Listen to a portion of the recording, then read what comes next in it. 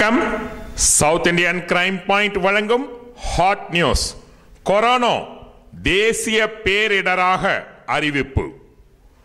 Corona virus அச்சுறுத்தலை தேசிய பேரிடராக மத்திய உள்துறை அமைச்சகம் அறிவித்துள்ளது. இது தொடர்பாக உள்துறை அமைச்சகம் வெளியிட்ட உத்தரவில் கொரோனா வைரஸை பேரிடராக கருதி மாநில அரசுகள் தேவையான நடவடிக்கை எடுக்க வேண்டும். இதன் மூலம் வைரஸை எதிர்த்து போராட மாநில பேரிடர் நிதி மற்றும் உதவிகளை வழங்க முடியும். கொரோனா பாதிப்பால் உயிரிழந்தவர்களுக்கு ரூபாய் நான்கு லட்சம் வழங்க வேண்டும் என தெரிவிக்கப்பட்டுள்ளது. இந்தியாவில் கொரோனா பாதித்தவர்களின் எண்ணிக்கை எண்பத்தி ஐந்தாக அதிகரித்துள்ளது. இந்த செய்தியை வாசித்துக் கொண்டிருக்கிற நான் இரண்டாயிரத்தி இருபது மார்ச் மாதம் பதினான்காம் தேதி மூன்று நாற்பது மணி அளவில் சொல்கிறேன். மதியம் மூன்று நாற்பது. அதிகபட்சமாக கேரளாவில் இருபத்தி ரெண்டு பேரும் மகாராஷ்டிராவில் பத்தொன்பது பேரும் ஹரியானாவில் பதினைந்து பேரும் டில்லியில் ஏழு பேரும் லடாக் மற்றும் ராஜஸ்தானில் தலா மூன்று பேரும் தமிழகம் தெலுங்கானா ஆந்திரா காஷ்மீர் மற்றும் பஞ்சாபில் தலா ஒருவரும் கொரோனாவில் பாதிக்கப்பட்டுள்ளனர்.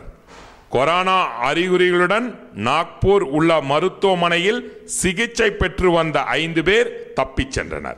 அவர்களில் ஒருவருக்கு கொரோனா இல்லை என்பது உறுதி செய்யப்பட்டுள்ளது. மற்றவர்களின் இரத்த பரிசோதனை முடிவுகள் வரவேண்டியுள்ளது. இது தொடர்பாக போலீசார் கூறுகையில் தப்பிச் சென்றவர்களில் ஒருவருக்கு கொரோனா இல்லை மற்ற நான்கு பேரின் பரிசோதனை முடிவுகள் வரவேண்டியுள்ளது. அவர்கள் எங்கு உள்ளனர் என்பதை கண்டறிந்து விட்டோம். விரைவில் மருத்துவமனை அதிகாரிகளிடம் ஒப்படைப்போம். அவர்கள் எப்படி தப்பிச் சென்றனர் என்பதை கவனிக்க வேண்டும். சிற்றுண்டி வாங்கி வருவதாக கூறிவிட்டு சென்றவர்கள் திரும்பவில்லை. இது ஒரு முக்கியமான விஷயம் என்பதால் மருத்துவமனை ஊழியர்களுடன் ஒருங்கிணைந்து செயல்படுவோம். என்று கூறியுள்ளனர். இந்தியாவில் கொரோனாவில் அதிகம் பாதித்துள்ளது கேரள மாநிலம்தான்.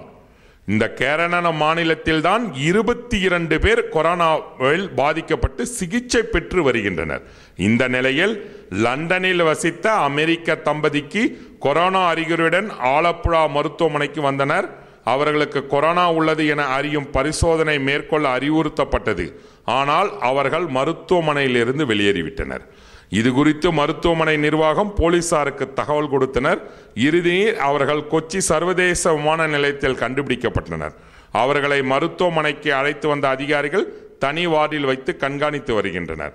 இது ஒரு தேசிய பேரிடராக அறிவித்ததுதான் இந்தியாவில் இன்று ஹார்ட் ஆஃப் த நியூஸ் நன்றி வணக்கம்.